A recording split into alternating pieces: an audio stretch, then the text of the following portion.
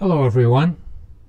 Uh, today's video is going to be about um, you're trying to get into your BIOS into your BIOS and you can't because at some time you you may have put an SSD into your computer and that doesn't get picked up it's a little bit too fast to get picked up by the BIOS uh, the way your settings are uh, so we're gonna have to make a change here on your computer. We're gonna go to control panel. You can look at in start or you can um, you can just uh, look it up here.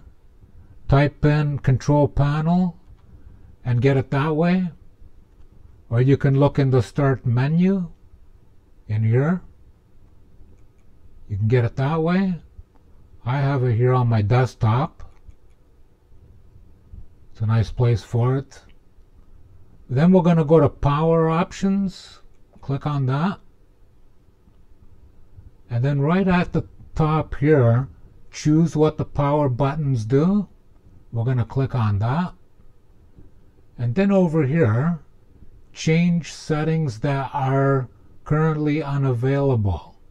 Click that and now you're going to come down over here where it says turn on fast startup recommended okay? You don't want that on if you have an SSD on an older computer.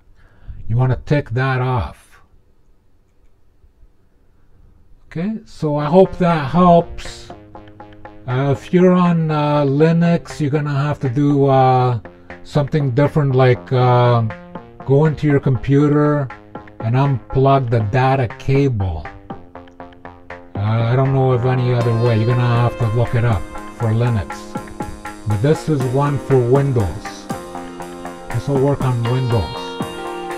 Okay, so uh, thank you for watching. I hope this helps you. Uh, we'll see you in the next one. Thank you.